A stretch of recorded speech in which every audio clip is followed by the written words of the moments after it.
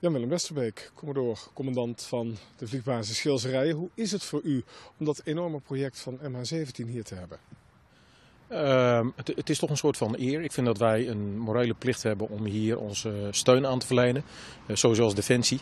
Uh, en toen mij gevraagd werd uh, door, door onze hogere leiding van heb jij capaciteit om dat te ondersteunen.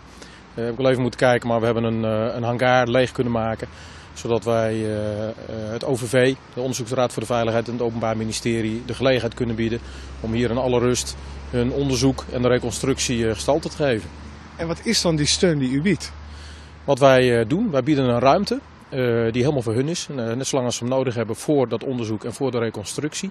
En daar waar nodig ondersteunen wij ook. En dan moet u denken als de nabestaanden hier wellicht nog een keer terugkomen om deelgenoot te mogen zijn van die reconstructie of van het onderzoek. dan gaan we die helpen. dan gaan wij facilitair zijn aan dat bezoek. U biedt ruimte. Wat is dat voor ruimte? Dat is een oude hangar. Dat is een ruimte, dan moet u denken aan iets wat toch zeker een 50 bij 60 meter groot is. Uh, daarin hebben wij een aantal faciliteiten ter beschikking gesteld. We hebben een aantal werkplekken ingericht.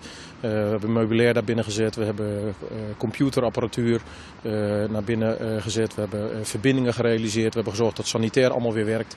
dat de verwarming er doet. en dat er voldoende spanning is, want ze zijn nogal met het een en ander bezig, zodat het, het, de onderzoeksraad en het Openbaar Ministerie daar hun werk kunnen doen.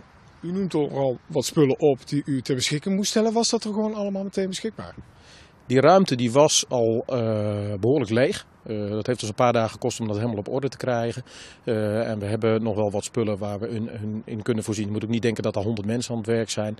Er is orde grote enkele tientallen van het OVV en het Openbaar Ministerie die daar aan het werk zijn. Hoe lang gaat dit nu duren?